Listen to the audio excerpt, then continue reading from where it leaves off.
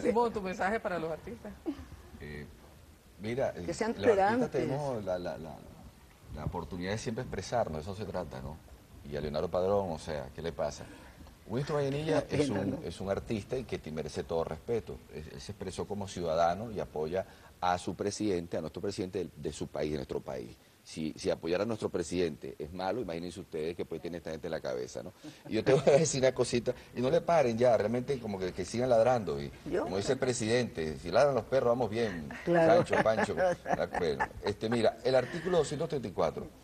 Las faltas temporales de presidente o presidente de la República serán suplidas por el vicepresidente ejecutivo o vicepresidenta ejecutiva hasta por 90 días.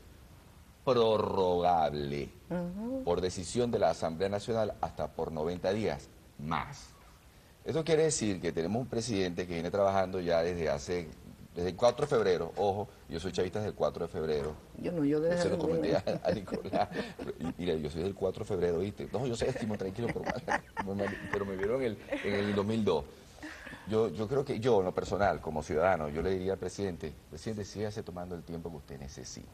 Aquí la ley, está en la ley, en la Constitución. Usted puede tener hasta 90 días más.